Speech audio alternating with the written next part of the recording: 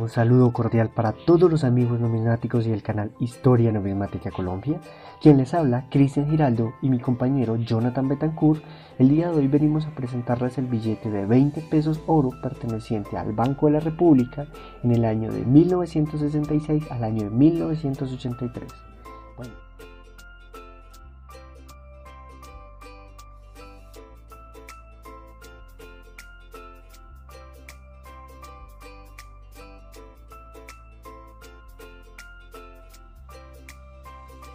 Inicialmente lo que podemos ver en el frontal del billete es la denominación 20 pesos oro, el, banco, el, nombre del banco, Banco de la República, y podremos encontrar una imagen de Francisco José de Caldas.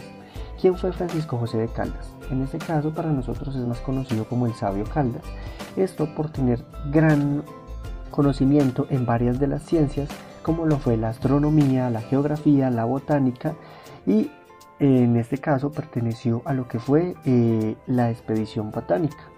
Por todos estos títulos que tenía, fue conocido como el sabio. Francisco José de Caldas nació en Popayán el 4 de octubre de 1768 y fallece el 28 de octubre de 1816, aunque en relativa no se puede llamar un fallecimiento sino una causa de muerte que fue fusilamiento. En ese caso, él fue fusilado a manos de lo que fue la pacificación por órdenes de Pablo Morillo. Se cree o se indica de que Francisco José de Caldas le suplicó a Morillo que no lo que le diera el perdón y éste le respondió con España no necesita de sabios. Con esa frase simplemente le indicó que debía morir.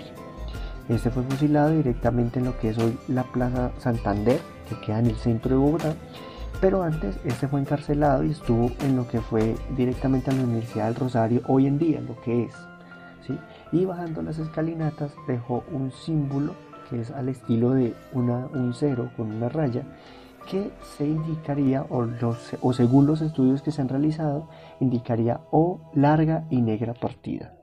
En este caso fue fusilado el 29 de octubre de 1816 en la plazuela de San Francisco, lo que hoy conocemos como el Parque Santander, y este directamente fue enterrado en la iglesia de la Veracruz, donde en el año de 1904 fueron encontrados cerca a la puerta de la iglesia. En este caso, directamente el senador Guillermo Valencia bueno, o no senador, sino representante a la Cámara, en ese año eh, directamente indicó a la Academia Colombiana de Historia que los restos deberían de ser enviados a la ciudad de Popayán, donde reposan actualmente en la iglesia de San José. Luego pasó a la catedral y finalmente en 1940 pasaron a lo que es el Panteón de los Próceres de Popayán. Bueno, en este caso, pues el billete le hace honor a él y sería lo que podemos encontrar por lo que es el anverso del billete.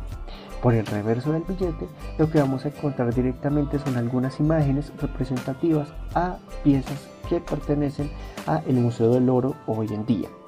Entonces, ¿qué podremos encontrar? Encontramos lo que son el poporo quimbaya, podemos encontrar lo que es algunos tunjos de oro y lo que sería como un estilo de pectoral. Igualmente encontramos lo que es el logo de la Mariana, Banco de la República, en este caso la denominación 20 pesos oro.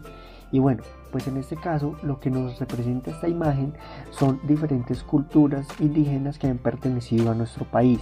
En este caso, pues podremos encontrar algunas que son como las más, las más representativas, que serían la muisca, la quimbaya, la calima, el darién y los tolimas.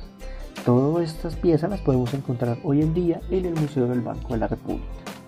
Bueno amigos, sin más que contarles, les agradecemos mucho por toda su atención, les agradecemos darle like, suscribirse a este canal y esperamos tenerlos en todos nuestros lanzamientos de videos. Muchas gracias a todos y hasta la próxima.